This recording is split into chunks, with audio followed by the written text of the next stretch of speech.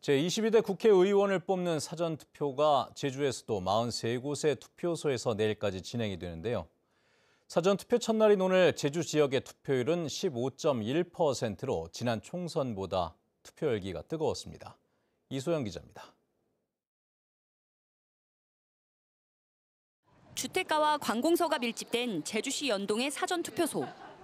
낮 시간대 70명이 넘는 사람들이 한꺼번에 몰리면서 건물 밖까지 긴 줄이 늘어섰습니다.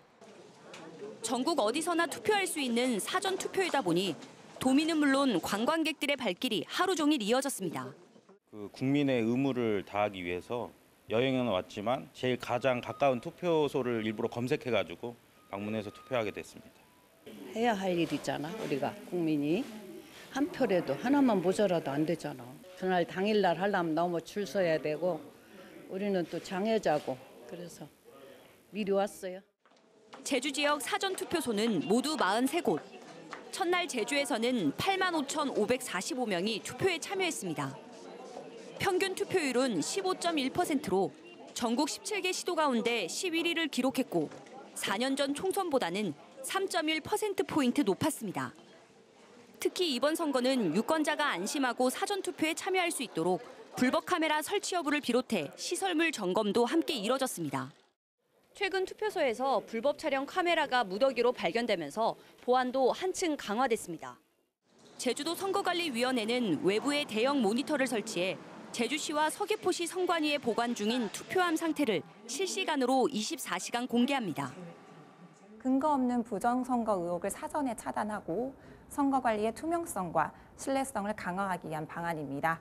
24시간 상시 CCTV를 운영하고 있고요. 직원들도 상시 점검하고 있습니다. 사전투표는 내일까지 오전 6시부터 오후 6시까지 진행되며 사진이 첨부된 신분증을 지참해야 합니다. 사전투표소 밖에서는 투표 인증 사진을 촬영할 수 있지만 기표소 안에서 투표지를 촬영하거나 SNS에 올리면 2년 이하의 징역이나 400만 원 이하의 벌금형에 처해집니다. MBC 뉴스 이소연입니다. 네, 이렇게 사전투표도 시작되면서 이제 선거운동을 할 수 있는 기간이 얼마 남지 않았죠. 선거구마다 주말을 앞두고 총력 유세전에 나서고 있는데요. 세 명이 출사표를 던진 제주시 을 유세 현장을 박주현 기자가 다녀왔습니다. 현역 국회의원과 정치 신인들이 맞붙는 제주시 을 선거구. 김한규 더불어민주당 후보는 차량으로 곳곳을 돌며 사전 투표를 독려했습니다. 현역 국회의원으로 제주도민을 위한 법 제정과 예산을 확보한 능력 있는 후보라는 점을 강조하며 삭감된 일자리 예산 복원과 원도심 벤처타운 조성을 약속했습니다. 2년 동안 열심히 해온 모습 도민들께서 만족하신다면 저 김한규에게 다시 한번 기회를 부탁드립니다. 후회하지 않으시도록 최선을 다할 자신이 있습니다. 김승우 국민의힘 후보는 공약이 곧 정책이 될 수 있는 집권 여당 후보임을 강조하며 유권자 공약에 나섰습니다. 특히 제2공항 건설 추진과 함께 제2공항과 연계한 동북권 신도시 건설을 통한 지역 경제 활성화를 약속하며 막바지 지지층 결집을 호소했습니다. 국민의힘 후보로서 우리 정부와 협조를 통해서 우리 제주의 발전을 위해서 또 우리 힘든 제주의 민생을 위해서 열심히 일할 수 있는 자격을 갖추었다고 생각합니다. 강순화 녹색정의당 후보는 비정규직 노동자로서 노동과 녹색의 가치를 실현할 적임자라며 표심 잡기에 나섰습니다. 청년들을 위한 월세 만 원의 청년 임대 주택 매년 200호 제공과 환경 오염을 막는 탄소세 부과를 비롯한 기후 위기 대응 3법 제정을 약속하며 지지를 호소했습니다.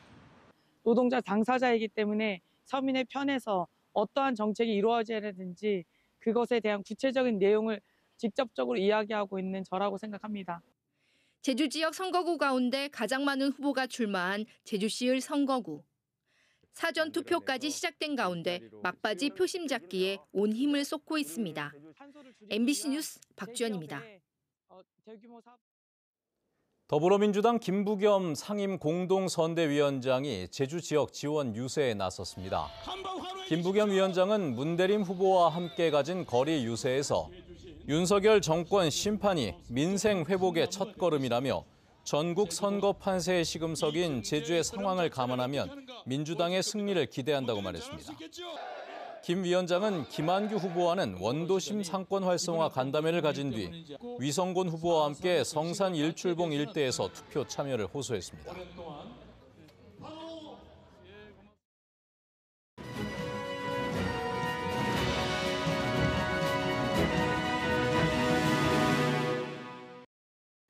예, 22대 국회의원 선거 이제 닷새 앞으로 다가오면서 치열했던 선거전이 막판으로 치닫고 있는데요.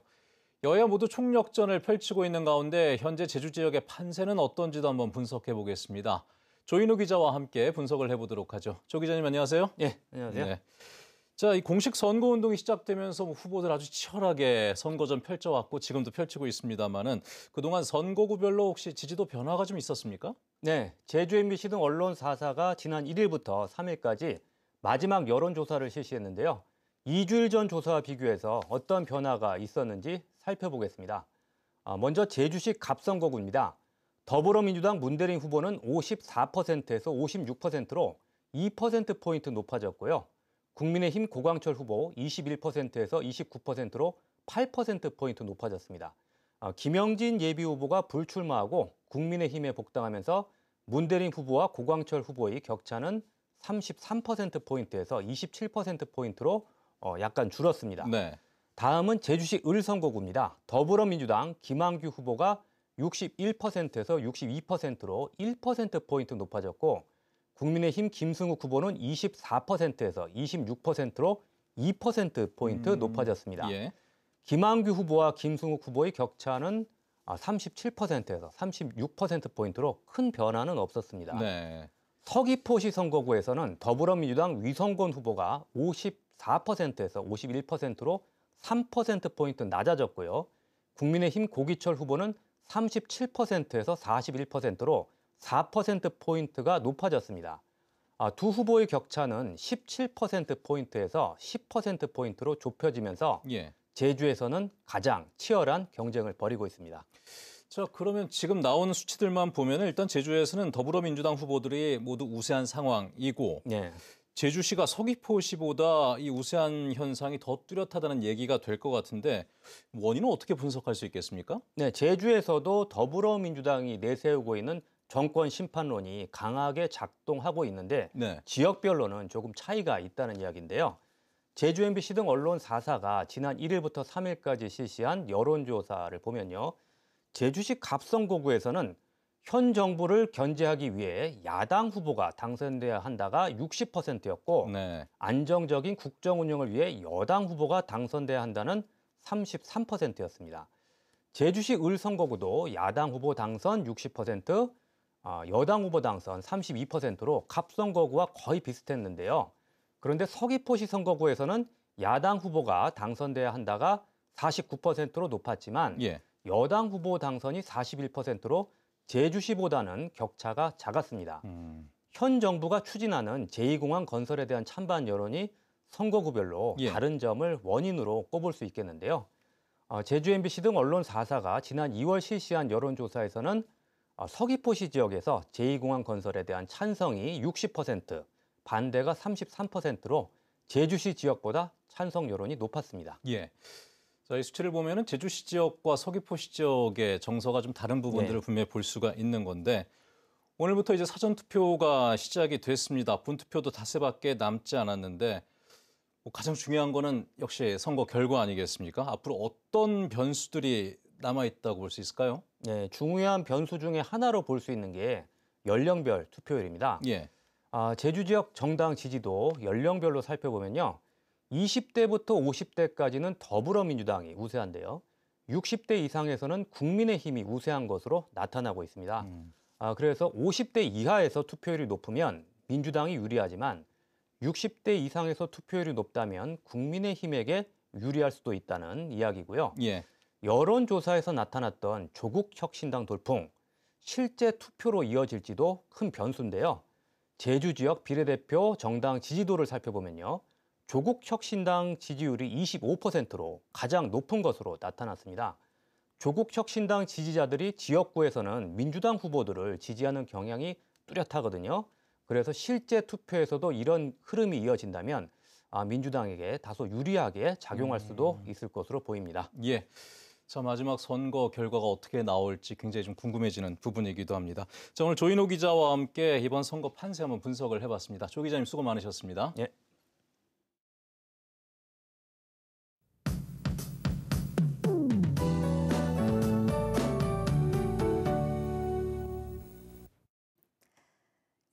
포근한 봄 기운이 느껴지면서 오늘 길가에 핀 벚꽃이 유독 화사했는데요.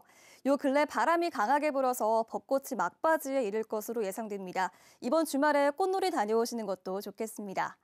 주말인 내일은 오전에 서해안 지역에 짙은 안개가 껴서 제주 공항을 연결하는 항공편 운항에 차질이 예상됩니다. 내일 오전까지 항공편 이용객들은 운항 정보를 확인하시기 바랍니다. 주말 동안 낮 기온이 20도까지 올라서 포근하겠습니다. 일교차가 크게 벌어져서 옷차림에 유의하시기 바랍니다. 내일은 구름 낀 날씨를 보이겠고 내일 오전부터 낮 사이에는 산지를 중심으로 빗방울이 조금 떨어지는 곳이 있겠습니다. 일요일에는 맑은 날씨를 보이다가 오전부터 차차 흐려지겠습니다. 자세한 내일 지역별 기온 보시면 아침 최저 기온은 북부와 남부 지역 12도, 서부 동부 지역 11도로 시작하겠고요. 낮 최고 기온은 북부 지역 17도, 그 밖에 대부분 지역에서는 18도까지 오르겠습니다. 바다의 물결은 0.5에서 1m 내외로 잔잔해서 항해하거나 조업하기 좋겠습니다. 다음 주는 별다른 비 소식 없이 대체로 맑겠고 이맘때 포근한 봄 날씨가 예상됩니다.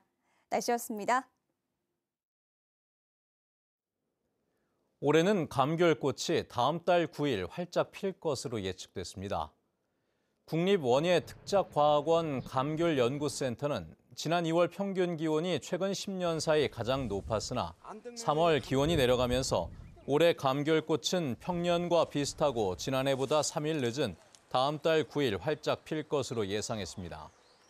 감귤연구센터는 노지감귤의 꽃이 피는 시기에 병해충 피해가 발생하기 시작한다며 방제에 신경 써줄 것을 당부했습니다.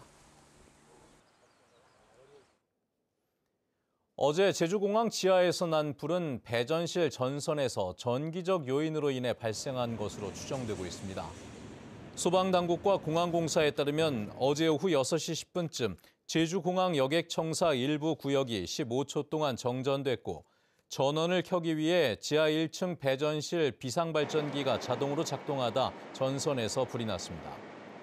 불은 연기를 빼내면서 자연 소화됐지만 소방차 10여 대가 긴급 출동하고 이용객들이 놀라는 소동이 벌어졌습니다. 소방당국은 정확한 화재 원인을 확인하기 위해 추가 조사를 벌일 예정입니다.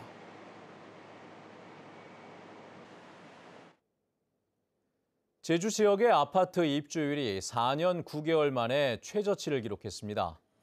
주택산업연구원 설문조사 결과 지난달 제주 지역 입주율은 59.2%로 한 달 전보다 14.8%포인트 하락했고 지난 2019년 6월 이후 4년 9개월 만에 가장 낮았습니다.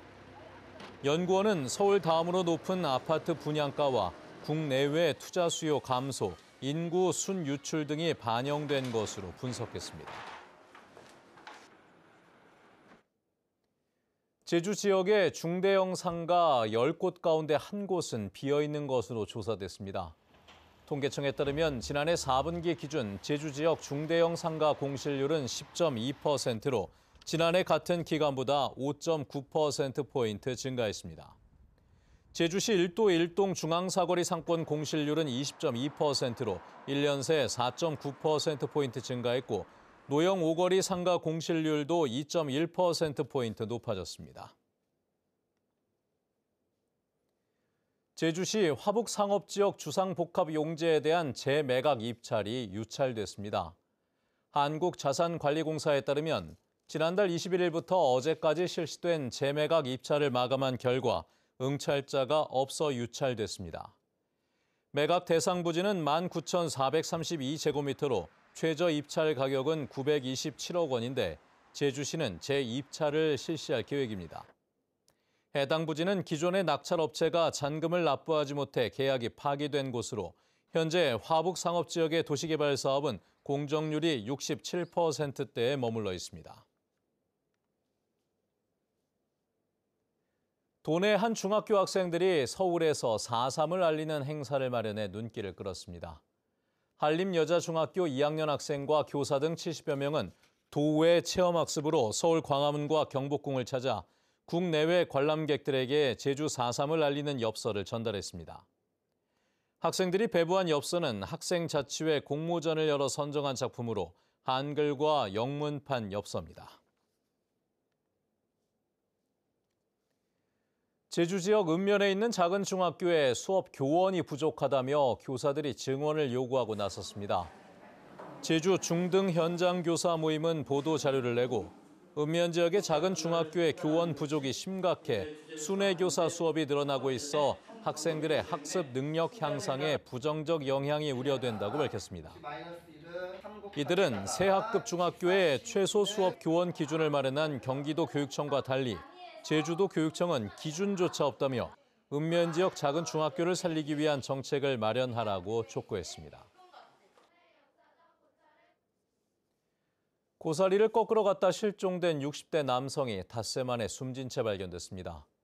제주 서부경찰서는 오늘 오전 10시 40분쯤 제주시 구자읍의 한 야산 가시덤불 안에서 실종된 60대 남성의 시신을 발견해 사고 경위를 조사하고 있습니다. 이 남성은 지난 1일 고사리를 꺾으러 나갔다 실종됐으며 근처에서 차량이 발견됐습니다. 제주 해역에서 불법 조업한 중국 어선 한 척이 납포됐습니다. 남해 어업관리단은 오늘 오전 11시 반쯤 제주시 한경면 차귀도 북서쪽 80km 해상에서 아귀와 가자미 등 500kg을 잡고 조업 일지에 기재하지 않은 혐의로 111톤급 중국 어선 한 척을 적발해 조사 중입니다. 뉴스데스크 제주였습니다. 시청해주신 여러분 고맙습니다.